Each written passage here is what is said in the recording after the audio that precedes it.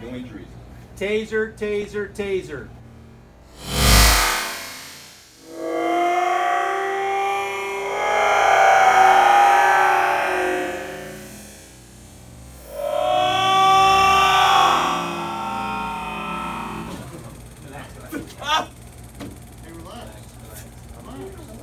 Oh, it's still going.